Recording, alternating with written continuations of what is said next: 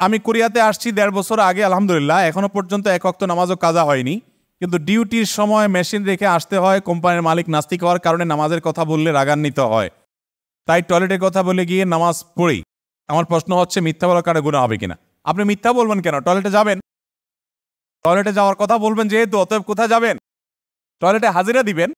এরপর আপনি নামাজ পড়বেন, তাহলে তার মিথ্যা হলো না। মিথ্যা হয়েছে আপনি তো টয়লেটে গেছেন। হ্যাঁ আমি টয়লেট করব এটা তো আর বলেন নাই। আপনি টয়লেটে গেছেন তো? আর যদি টয়লেট আসে, তাহলে টয়লেটও করলেন একসাথে। নামাজ হয়ে গেল। কিন্তু কোনো অবস্থাতে নামাজ ছাড়া যাবে না।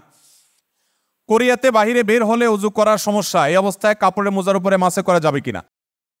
সাধারণত চামড়ার মোজার উপরে মাসা করাটাই হলো শরিয়ার নির্দেশ। কাপড়ের মোজা যদি এত শক্ত হয় যে শুধু ওই মোজা পরে অনেক পথ হাঁটা যায় এবং ফাঁকা হয়ে না যায়, দেখা না যায়, ছিঁড়ে না ছিঁড়ে না থাকে, তাহলে সেক্ষেত্রে বহু শর্ত সাপেক্ষে সেটার উপরে মাসা করা যায়।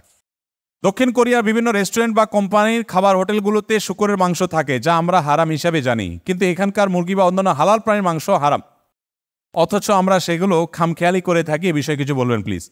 দেখুন, ওই যেটা আমি আলোচনাতে বলছিলাম, আমাদের অনেক স্বদেশী ভাইরা শুকর খায় না, হারাম দেখা। কিন্তু অন্যান্য হারাম দিব্যি খায়, কোনো অসুবিধা নেই। আরেকজন হক মেরে খায়, ওইটারে কোনো হারাম মনে করে না।